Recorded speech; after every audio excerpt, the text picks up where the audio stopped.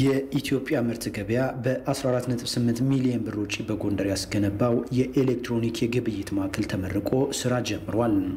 የኢትዮጵያ ምርት ገበያ ዋና ስራ አስፈጻሚ አቶ ወንድም አገኘሁ ነገራ ማዕከሉ በአካባቢው ያሉ አርሶ አደሮችና አምራቾች ለምርታቸው ተገቢውን ዋጋ እንዲያገኙ የሚያደርግ ነው ብለዋል። የግብይት ማዕከሉ በአንድ ጊዜ እስከ ዘጠና ተገባያዎችን ማስተናገድ የሚችል ነው።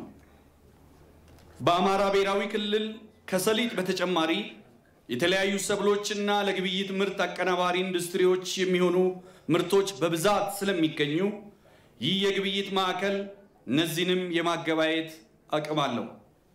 በጥራጥሬና ቅባት እህል የግብይት ላይ ግብይት ላይ አርሶ አደሩን አቅራቢዎችና የህብረት ስራ ማህበራትን ተሳትፎ በማሳደግ የተጠቃሚዎችን ቁጥር ከፍ ለማድረግ አባል ያልሆኑ ቀጥተኛ ተገባዮችን መመዝገብ ጀምረናል። የኢፌድሪ የንግድ ሚኒስቴር ሚኒስትር አቶ መላኩ አለበል ማዕከሉ የሀገሪቱን የወጪ ንግድ ለማሳደግም እገዛ የጎላ መሆኑን ገልጸዋል። የዘንድሮ በጀት ዓመት ያለፉት ስድስት ወራት አፈጻጸም ሲታይ የወጪ ንግዱ 1.57 ቢሊዮን ዶላር ሲሆን የግብርና ምርት ድርሻ 1.19 ቢሊዮን ዶላር ነው።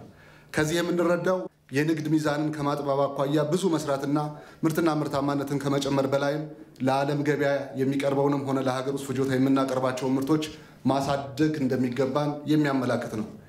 የዘመናዊ ግብይት ስርዓት ሀገራችን በፊት ከነበረው ኋላ ቀር የአሰራር ስርዓት አላቆ ሀገራዊ ምርትን በተሻለና ተወዳዳሪ ዋጋ ከማቅረብ አንስቶ ምርት ካለበት ምርት ወደ ተፈለገበት ገበያዎች እንዲንቀሳቀሱ ብሎም የሀገራችን የውጭ ምንዛሬ ግኝት ያለው አስተዋጽኦ እጅግ በጣም ከፍተኛ ነው። የአማራ ክልል ርዕሰ መስተዳድር አቶ አገኘሁ ተሻገር በበኩላቸው ማዕከሉ ክልሉ በቅባት እህልና ጥራጥሬ ምርት ያለውን እምቅ አቅም በአግባቡ ለመጠቀም እድል የሚሰጥ መሆኑን ተናግረዋል። ይህ ክልል የቅባት እህል በማምረት የሚታወቅና በርከት ያለውን ድርሻ የሀገሪቱን የቅባት እህል ወደ ውጭ ገበያ በመላክ የሚታወቅና በእርሻ ኢንቨስትመንትም በርከት ያሉ ባለሀብቶች የሚሳተፉበት አርሶ አደሩም በቅባት እህል ማምረት ተግባር ላይ በከፍተኛ ደረጃ የሚሳተፍበት በቅባት እህል፣ በጥራጥሬ፣ በሌሎች ተግባራት የሚሳተፍበት ክልል በመሆኑ ይሄ የኤሌክትሮኒክስ የግብይት ማዕከል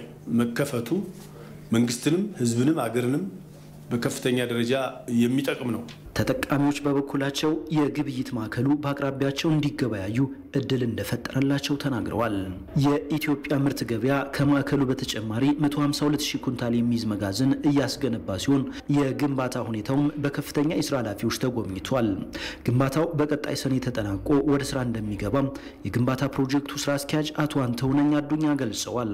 የዚህ መጋዘን ጠቅላላ 4290 ካሬ ሜትር ሲሆን 152 ሺህ ኩንታል ይይዛል ተብሎ ነው የሚታሰበው። እኛ በ65 ሚሊዮን ብር አካባቢ በጀት ነው እየገነባ ነው ያለን።